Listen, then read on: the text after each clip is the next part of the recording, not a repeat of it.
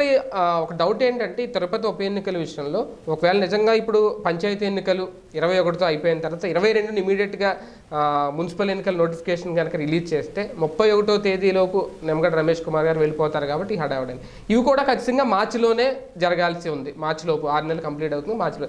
అంటే ఈ ఈ హడావుడిలో దీని మీద ఉన్న సీరియస్నెస్ ఏమైనా తగ్గుద్దా? ఒకవేళ ఇది నిర్వహించడం అనుకోండి కేంద్రం నిర్వహిస్తుంది. కానీ ఈ ఎన్నికల హడావుడిలో పడిపోయి దీని మీద సీరియస్నెస్ తగ్గుతుంది? ఏముండదు. దాని అదే ఇది ఇదే. అసలు ఇప్పుడు పంచాయతీ ఎన్నికలకు సంబంధించిన దాంట్లో సీరియస్గా పార్టీలు ఏం చేస్తున్నాయి? తెర వెనకాల చేయాల్సింది కానీ ఏం లేదు కదా. అందులో స్ట్రాంగ్ హోల్డ్ తెలుగుదేశానికి ఉంటుంది వైసీపీకి ఉంటుంది. బీజేపీ జనసేన ఇప్పుడిప్పుడే ఆరంగరేటం చేస్తున్నారు అందులో.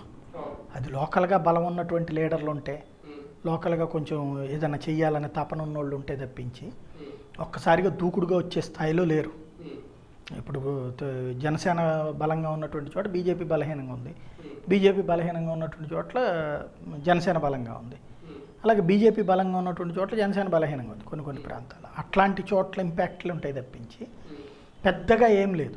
అదే దీనికి వచ్చేటప్పటికి కంప్లీట్ డిఫరెంట్ ఎంపీటీసీ జెడ్పీటీసీలు మున్సిపల్ ఎన్నికలు వస్తే కనుక అవి కొంచెం సీరియస్ ఇష్యూనే అవి ఏంటంటే సీరియస్నెస్ అప్పుడు స్టార్ట్ అయిపోద్ది కదా అంతే ఆటోమేటిక్గా ఉంటుంది. ఇప్పుడు దీని మీద కూడా ఉంటుంది. తిరుపతిని ఏం వదులుకోరు కదా. దేని సీరియస్నెస్ దాందే ఉంటుంది. అంటే రెండు ఎలా సాధ్యం అవుతాయి? ఒక పక్క ఇవి పెద్ద జరిగిపోతా issue ఏం ఉంటే కాదు. అది అదే మున్సిపాలిటీ లోక్సభ శాసనసభ ఒకేసారి జరగట్లా? ఎన్నికలు? సీరియస్నెస్ ఏమైనా తగ్గుద్దా? ఖర్చు తగ్గుద్ది.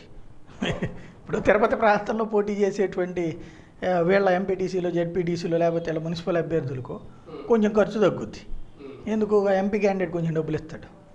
అంతే.